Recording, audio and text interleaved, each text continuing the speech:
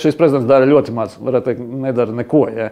Bet tas, ko viņš dara, ir nu, diezgan virs vidējā, nu, sliktā nozīmē.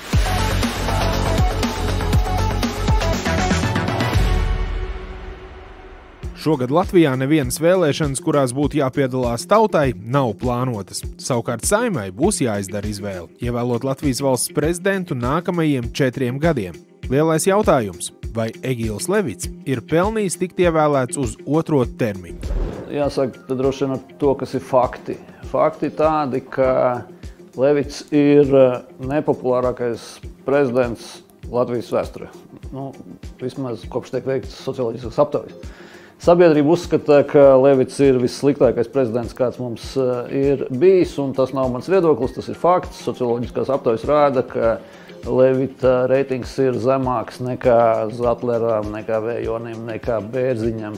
Visiem būtiski. Nu, un, un tā. tā kā sabiedrības, sabiedrības vērtējums šeit ir skaidrs. Levits ir ļoti slikts prezidents, tāds kā apsmiekls, tukša vieta kurš nu, nāk klajā vienīgi ar tādām visādām gudrībām, ka tie, kas nomirs novembrī, tie Ziemassvētkus nesagaidīs un tam līdzīgi. Ir tā, tā īpatnējā lieta, ka Nu, ziņā var tur, teiksim, kādam patikt vai nepatīk Lato lapsa, bet uh, Lato lapsa ir publicējis dokumentus, kas pierāda, ka Levits melo par savu biogrāfiju un savas ģimenes izsūtīšanu un, un visiem šīm lietām. Ir tātad intervijas, kur viņš saka vienu, blakus ir dokuments, kas rāda kaut ko pilnīgi citu.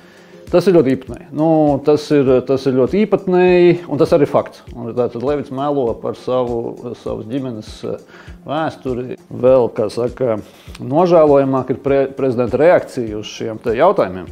Tā vietā, lai izskaidrotu, nu, teiksim, kas tur pa lietu, un droši iespējams, ka tam arī varētu būt teorētiski kāds eh, nevainīgs izskaidrojums, eh, Levits reaģēja absolūti histēriski un faktiski Tas beidzās ar to, ka viņas spiedienu pasūtījuma rezultātā pret Latvijas labs tiek pasūtīta vidā krimināla lieta. Tur tie, tie, pie tieši tiem pašiem cilvēkiem, kas tagad jau sēž cietumā. Mēs atceramies labus prezidentus, kā Vairvīķa Freiberga, ja, kur, kur tiešām, tiešām cēla nu, gan nācijas pašapziņu, gan, gan lepnumu par sevi, gan bija spēcīga ārpolitikā, gan iekšpolitikā. Gan, gan, gan kurai bija augsts, augsts milzīgs atbalsts sabiedrībā. Ja tas ir tas, kāpēc vispār šis amats ir radīts. Nu, vēl jāatgādina ir eh, viņa rīcība. Uh, zvanot saimnes deputātiem, draudot un šantažējot, ka, ja neievēlēs viņa favorīti uh, satversmes tiesas amatā, tad viņš tur gāzīs valdību, kritizēs, uh, atriepsies, respektīvi tā tālāk. Līdz tam, ka mūsu teiksim, ārzemju latviešu vicetāra deputāti un tā tālāk vienkārši ir tādā šokā, ka viņi sasauc frakcijas sēdi un saka, man zvanīja prezidents un draud. Ja. Un saka, ka ja mēs nebalsosim, nesakārtosim balsojumu par viņu cilvēku, tad, tad būs kaut kāds tāds seks. Vai viņu tāpēc nepārvēlēs? Nē, nav teikt, ja tu esi nelietis. Un, un, un, un, un viduvējība tas nav īpaši Latvijā nekad bijis šķērslis kādām politiskā karjerā. Nu, bet to, vai viņi pārvēlēs vai nepārvēlēs, mēs zināsim, apmēram, varēsim saprast, apmēram nezinu, nedēļu vai trīs dienas pirms vēlēšanām. Prezidenta tāda ir specifika šeit.